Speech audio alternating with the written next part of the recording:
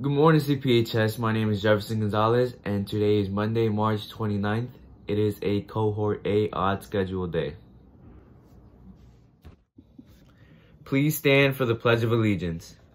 I pledge allegiance to the flag of the United States of America and to the republic for which it stands, one nation, under God, indivisible, with liberty and justice for all.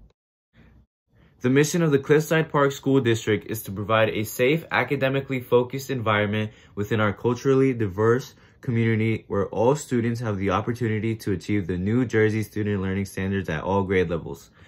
We will challenge each student to confidently achieve his or her own educational goals as well as acquire the work and social skills essential to be a productive member of society. This week is Spirit Week. Today, March 29th, is Recreate a Picture Day. Find a picture of your younger self and recreate the same picture with the you of today. Tomorrow will be Decades Day. Pick your favorite decade and dress from that decade.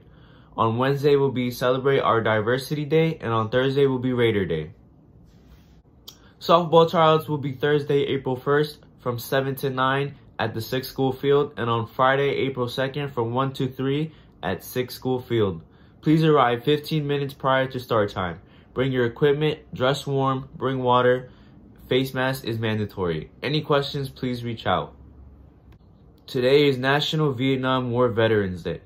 This day is observed every year on March 29th to thank and honor our nation's Vietnam veterans and their families for their service and sacrifice.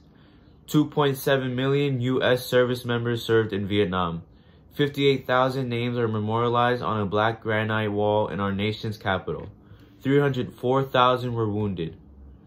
1,253 MIA heroes who have not yet returned to American soil.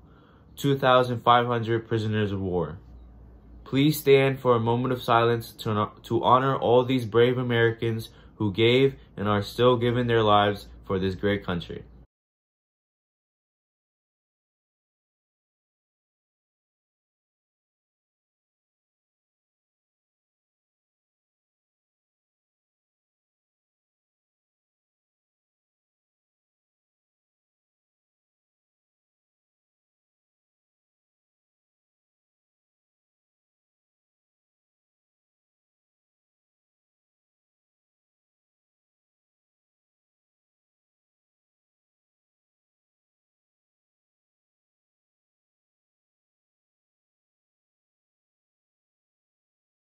Thank you for watching, and on behalf of everyone here at CPTV, enjoy your Spirit Week and have a great and healthy Monday.